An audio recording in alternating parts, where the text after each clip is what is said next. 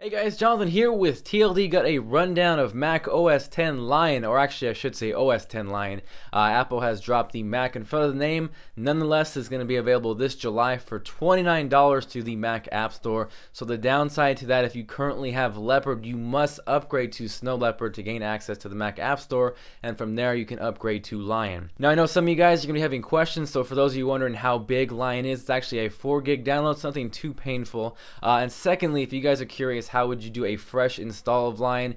From what I've read, you can actually download it to a USB drive and install it that way, just in case you want to do a clean install. Now I'm going to give you guys a rundown of the top 10 features Apple took us through at WWDC. There's actually over 250, but let's go ahead and start out with number one. And that is multi-touch gestures. Now apps will actually be controlled through multi-touch gestures such as three-finger swipes, scrolls, pinching, and zooming. Number two is full screen apps. So very similar to that of what you've seen on the iOS devices, we will now see full screen applications on our desktop or laptops for those of you guys being as smart. Number three is mission control. What this is, it's basically an expanded expose. All of your apps open in an instance and they're grouped by each application.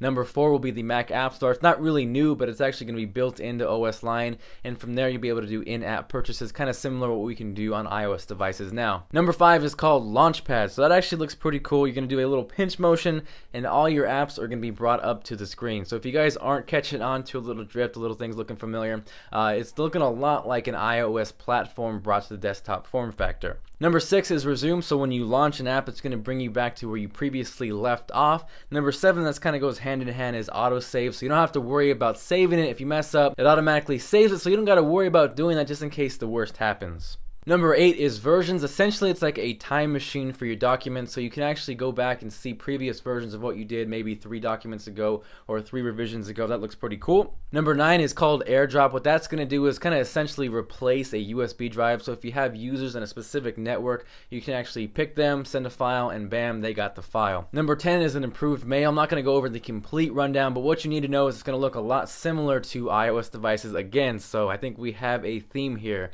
What I really look forward to is they're bringing conversations in the mail application. And other than that, that's just kind of a quick rundown of Mac OS, excuse me, OS 10 Lion. Uh, keep forgetting they removed the Mac out of there. So make sure to check out our previous videos. It is a really, really busy day. We got E3 coverage or WWDC coverage. Lots of videos for you guys to check out. As always, feel free to subscribe, and I will catch you guys later.